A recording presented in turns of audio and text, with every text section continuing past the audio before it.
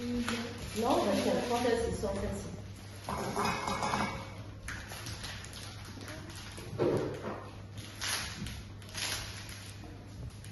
Voilà. Si tu n'arrives pas à bien enfoncer, on va repasser avec le couteau à côté, il n'y a pas de souci. D'accord? T'inquiète pas. Je prends un petit peu là. Et voilà.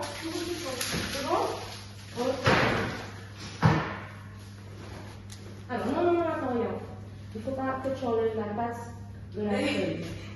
Donc il faut que tu déroules la pâte, en, tu vois, en laissant la. Ah. Voilà, elle est un petit peu coulée.